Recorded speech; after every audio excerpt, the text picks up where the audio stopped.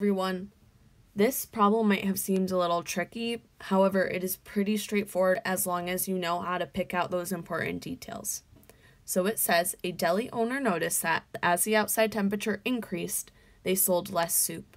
For each day soup was sold, they plotted the point T, comma S, where T represents high temperature and S represents bowls of soup. Sold. On the axis, draw a line of best fit that you think is a good fit for the data. So if we see right here, our data as we're increasing, this was our temperature, and this was soup. As our temperature was increasing, our soup sales were decreasing, which kind of makes sense. I don't think I would want to eat soup on a 90 degree day, but that's just me. So right here, we have a negative association because as our temperature increases, our soup is decreasing. So what I'm going to do, I'm going to draw in a line of best fit. To draw my line of best fit, all I'm doing is drawing in a line that follows the same kind of pattern or the same movement that my data points do. So every single line of best fit that someone draws, you could have a different line of best fit than your best friend, as long as it makes sense. So right here, I just drew in my line of best fit that I thought was a good fit for my data. It's as simple as that. My next problem says, the deli owner found that the line S equals negative T plus 120 is a good fit for the data. Use this equation, not the line of best fit you found, to predict how many bowls of soup they might sell on a day where the high temperature is 60 degrees. So let's start off by copying down our equation again. And remember, we have this information up here that we read first.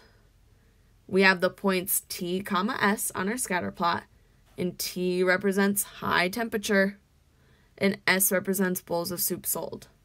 So we know from this, we're trying to figure out how many bowls of soup they might sell, but we know that the high temperature that we're figuring out is 60 degrees. So think about for a minute, what variable would I plug in 60 degrees for? I have two options. I have T and I have S.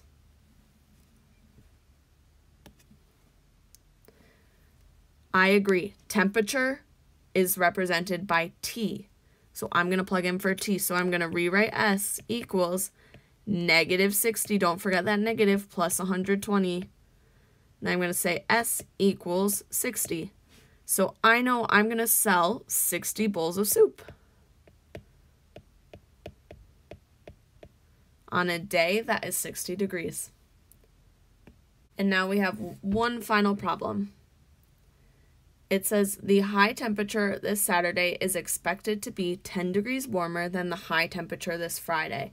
Using the line S equals negative T plus 120, how many more bowls of soup should the deli expect to sell on Saturday than Friday? Explain or show your reasoning.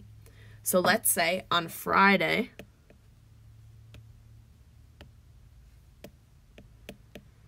we're going to say T equals 30 degrees.